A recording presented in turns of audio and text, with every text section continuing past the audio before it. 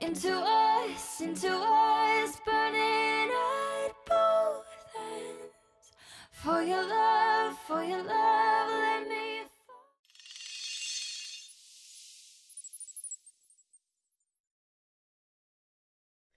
Hello, my stars. Welcome back to my channel, Goddess of Stars Tarot. It is your celestial baddie, Karen, and she is back with another one. I have missed you guys so much, and I hope you guys are doing amazing. Okay, but your girl needed a reset, honey. Okay, and I'm gonna take them as many times as I need to. Okay, but I am so happy to be doing this reading for you guys. I really do appreciate the love and support. And for those of you who are dedicated, you know, subscribers, followers, who really, really understand my craft and who I am as a spiritualist, I really, really appreciate the love that I receive.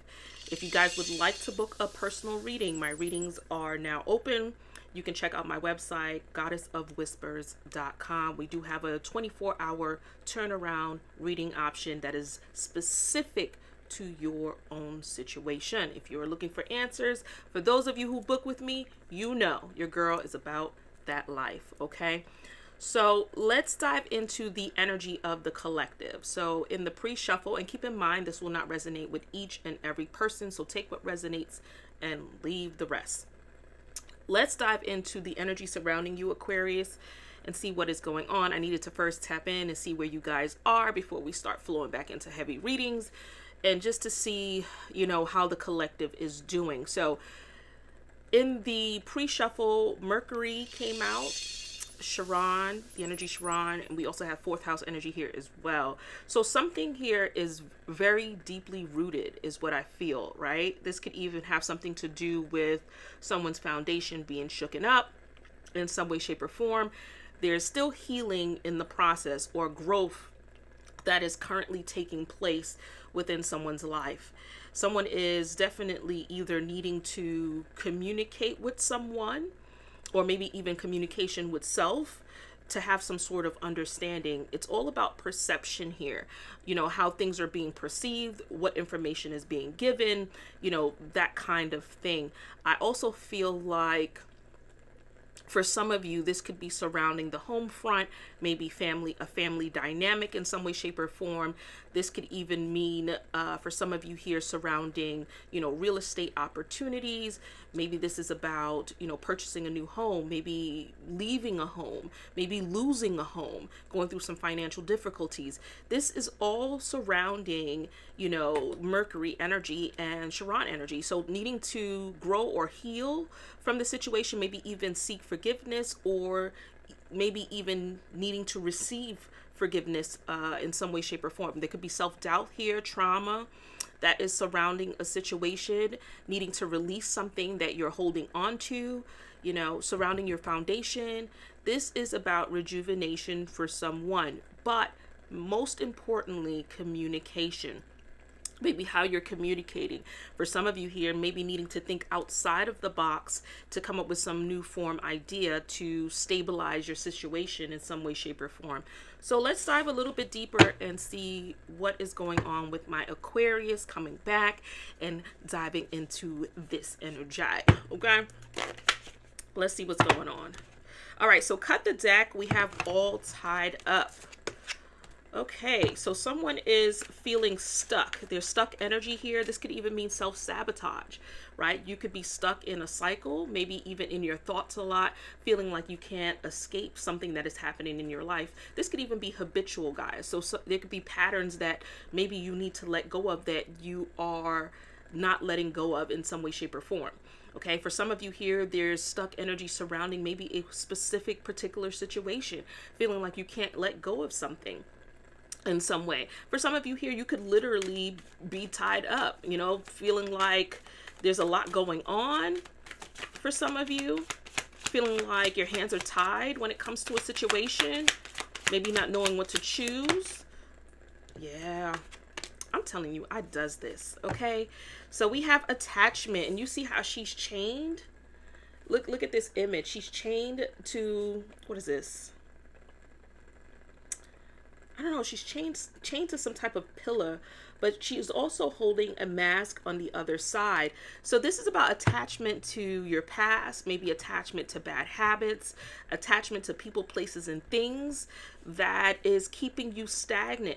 For some of you here, maybe not even facing some truths here that you need to face here in your life that you're not letting go of something here probably for some of you still needs to be revealed and this could be why mercury is showing up communication needing to release maybe receive for some of you here. Maybe there's a narrative in a situation that needs to be addressed in some way shape or form but there's definitely some sort of attachment. Give me one more. And i feel like this attachment is bringing about some form of growth for you is what I feel. Okay. It's almost like you're learning from this.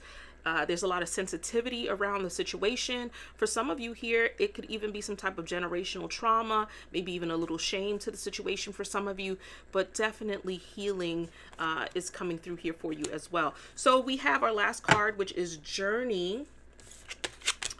So this is about moving forward okay? Moving forward from some form of attachment for some of you here this could even mean needing to get away needing to let go needing to take some type of trip. For some of you this is just about finding a new path right? Finding a new path on your journey that is going to change the dynamic that is t- surrounding you here in your life.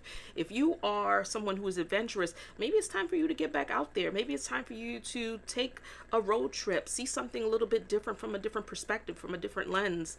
Uh, now may be a time to, for some of you, you're relocating right? So you have upcoming travel surrounding because we did have fourth house, which is surrounding home, real estate. It could even be surrounding, you know, needing to move, maybe finding it hard to let go because you've you've grounded so many memories surrounding that home front.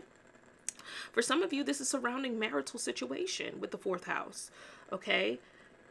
But whatever this is for some of you, I'm feeling like as though there's movement. There's movement or a need for movement, right? A need to transition in some way, shape, or form. So you're moving, you're letting go, is what it's. Yeah, cut the deck. cut the deck. Look at that. Five of Cups, Six of Swords. All right. This this is clear as day, honey.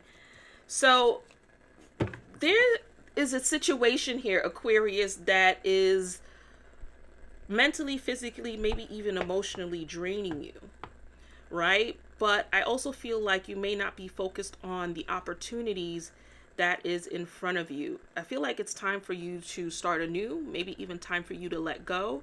For some of you, you're being pushed in this direction, whether you want it or not, because it's something that is actually best for you, even if you can't see it yet. Uh, you see here in this image, she's in a boat.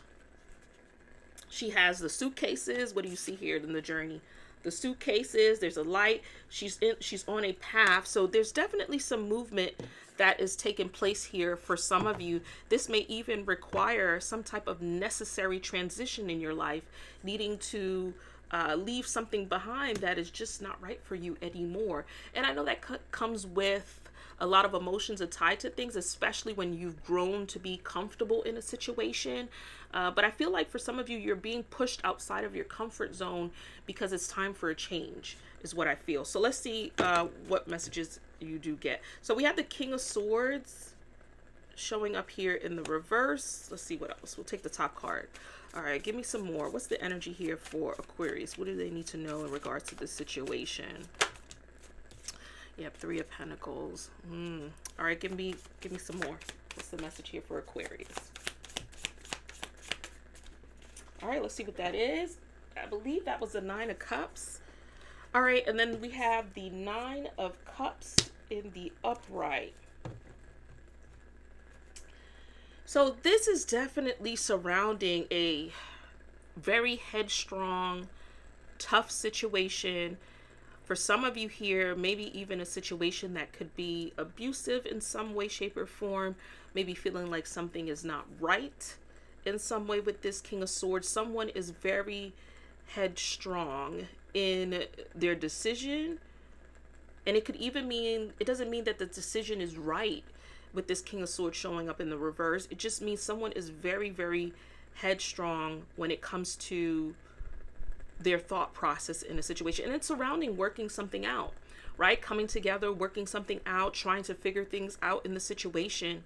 But I also feel like in the essence of it all, and Aquarius, this could very well be you, right? With this King of Swords. This is air energy, so Aquarius, Gemini, Libra. But I feel like in the essence of it all, I feel like there's a win at the end with this Nine of Cups. Because what this is saying here is that there is some type of feeling that you will receive, right? But this feeling you're about to receive is something that for some of you here, you might not have ex- expected.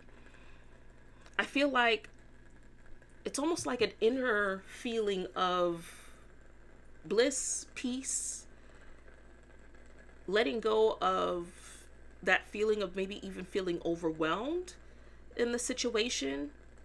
There's healing that's a part of it as well, is what I feel.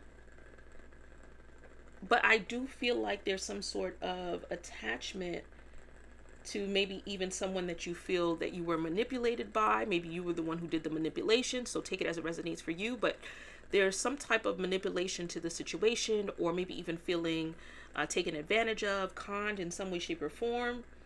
Like someone is not standing on ethics, right? Or doing the right thing in some way, and they're using their wit. All right, so this person could be somebody who's very smart, uh, very conning, very smart, Hold on, guys. Let me drink a sip of my coffee here. But very conning, very smart in a situation. For some of you, it could be surrounding like child support in some way, like trying to figure something out in that aspect. The King of Swords in reverse could represent legal issues as well.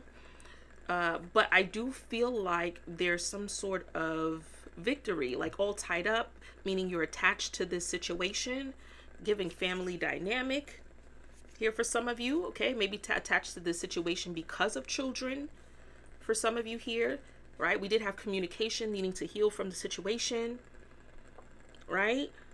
All right, let's see what else. What else can you give me? What's the message here? What else can you give me? Thank you. All right, so we have the King of Pentacles showing up in the reverse. Yeah, a lot of masculine energy in the reverse. Let's see what this is. The Chariot. I'm telling you, there's movement here. There is movement needing to make some sort of transition or change. Yep. Four Swords. This is about taking care of you. Some type of healing energy here surrounding self-care, self-respect taking care of you, doing what's right for you here with this Four of Swords. Maybe for some of you here, taking a break, taking a time out to recover from the situation, time to think. You know, there's solitude energy surrounding you. But most importantly, healing. It's almost like weaving, you know, your heart back together in some way, shape, or form. Right? But this is about overcoming some things here uh, in a situation that might not have been very practical for some of you here, this could even be surrounding finances in some way, shape, or form. With this King of Pentacles in the reverse, like feeling like the situation is not stable or it's not offering you stability. It could even be surrounding career, work. Take it as it resonates for you, right? Fourth house foundation, foundation, whatever that looks like for you. But what it's saying here is that there is corruption or manipulation, maybe even bribery, in this situation. This could even represent jealousy in some way, like jealousy was a factor in the situation. But I also feel like it's about finding a way to overcome this, though, with this chariot. Like feeling like you need to either make a decision. You may even be feeling like we did have all tied tied up an attachment to a situation. So maybe even for some for some of you here, feeling like you're at some sort of crossroads is what I feel. All right, what is the overall outcome of this? What is the overall outcome of this? Cut the deck. Eight of Wands in the reverse, other side, Page of Cups. All right, let's see. Actually, the Eight of Wands is in upright. Page of Cups. Let's see. Give me one more. What's the solution? So, so far, without even getting the other card, the solution is obvious. Mercury, right? Communication. Eight of Wands is communication. Needing to hash some things out Page of Cups is about receiving messages. So, yep, Queen of. Woo wee. We have the King of Swords showing up in the in the reverse, and the Queen of Swords showing up in the upright. The Queen of Swords, right? Even though she has that that bitch rest face, okay, and she's about her business. She don't take no bullshit. One key factor about her, she's about finding solutions. She will find the solution to a problem. So this is about communicating effectively and finding the answers that you need. So for some of you, like I said in the beginning, because uh, when I saw this Nine of Cups, it gave me an energy of like something that you feel will not come to pass actually does come to pass. And look at this image here on the Page of Cups, the pig, right? It's almost like that saying when pigs fly. So I feel like this is something about receiving some sort of message, some sort of communication, and coming up with some form of solution here to the problem that is happening here for you guys. So let's dive in and see what's hidden. What is hidden?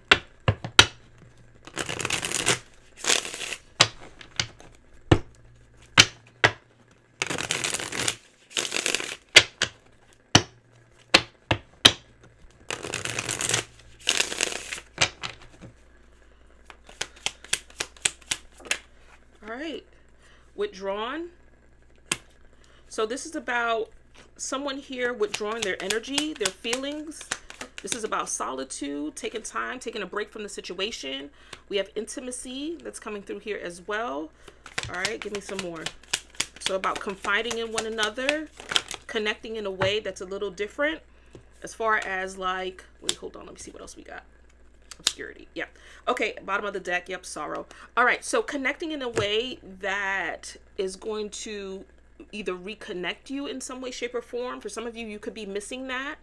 You know, that intimacy you felt in a situation, that bonding that you felt in a situation. For some of you, it's just the confidence that you felt overall, and it could even mean within self. But someone here has become withdrawn. You could be feeling abandoned and unappreciated in a situation because either you or someone walked away, right? And it has something to do with some type of secrets, obscurity. Somebody's hiding something. We did have that attachment card that had the mask. Someone was holding the that she was holding the mask in one hand. So it's like someone is not revealing something. They're concealing something. I'm seeing the tattoo of the rose. So this is about speaking some truths here, right? We had communication healing.